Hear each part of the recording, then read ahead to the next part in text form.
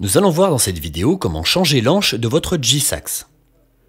Pour commencer, nous allons retirer le couvre-bec. Ensuite, il vous faut écarter la ligature en poussant sur ces deux petites pièces. Une fois la ligature en position ouverte, vous pouvez retirer l'anche. Cette anche affiche un numéro à son dos. Nous avons le numéro 2. Nous allons la remplacer par l'anche numéro 1,5. Attention toutefois à bien aligner la nervure située au dos de l'anche à la fente qui est taillée dans le bec. Ceci vous assure une bonne position de l'anche dans le bec. Il vous suffit ensuite de presser la ligature pour la refermer et en vérifiant que l'extrémité de l'anche est alignée avec le bout du bec. Une fois que c'est fait, vous pouvez replacer le couvre-bec. Et voilà